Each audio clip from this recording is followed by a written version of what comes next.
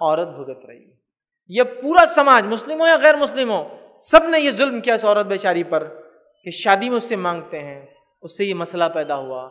मुझे ऐसी कोई स्टोर बताइए, दुनिया का कोई ऐसा बिज़नेस तो बताइए, जिस स्टोर पे या मार्केट में जाकर आप प्रोडक्ट परचेस करते हैं। प्रोडक्ट का रेट देखते हैं, दो सौ रुपये, और दुकान के बाद निकलते वक्त बोलते चलो दो सौ रुपये लाओ प्रोडक्ट लिया ना तुम्हारा, लाओ। है कोई ऐसी दुकान? है ऐसी कोई तिजारा जिसमें चीज़ भी ली जाती है और पैसा भी लिया जाता है? नहीं। तो शर्म करो नौजवानों, लड़की लेते हो, तुम कुछ लेते हो। इस्लाम ने कहा, डावरी दो, मेहर दो तो तुम लड़की भी लेते हो, जोड़ा भी लेते हो, घोड़ा भी लेते हो और बिस्तर भी लेते हो, पलंग भी लेते हो। शर्म करो शर्म करो। और ऐसे मांगने वाले भिकारियों ने क्या कर दिया मालूम? पूरे समाज का बेड़ा गर्क कर दिया।